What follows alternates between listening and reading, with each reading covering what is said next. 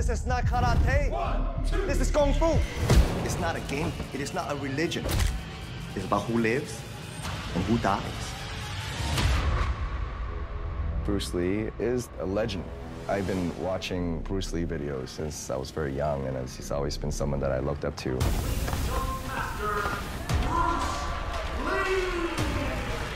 I really hope I do this man justice because without Bruce and his achievements, I wouldn't be here.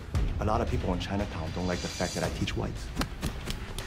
Sooner or later, gonna have to fight.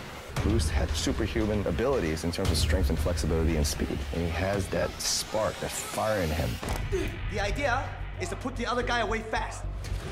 Bruce's first intent is to kill. Ever show you my one-inch punch, Tony? Philip is Bruce Lee. He's an amazing, amazing martial artist. He's such an incredible guy to watch.